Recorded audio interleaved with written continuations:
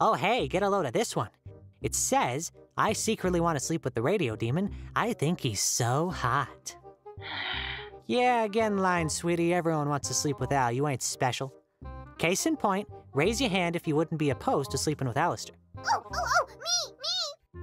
What? Husker? What? Get a few stiff drinks in me and I'd toss that ass like a salad. You'd what my what? Like a what? Bags, put your hand up. You're lying. I'm a lesbian, you idiot. Huh? What? Ugh, this is stupid. Yeah, that's what I thought. You all are miserable perverts! Don't worry, Al. None of us would actually try anything. You're just, uh, nice to look at, is all. Do you suppose I should thank you for refraining from assaulting me? Disgusting! Obey the five foot rule, please.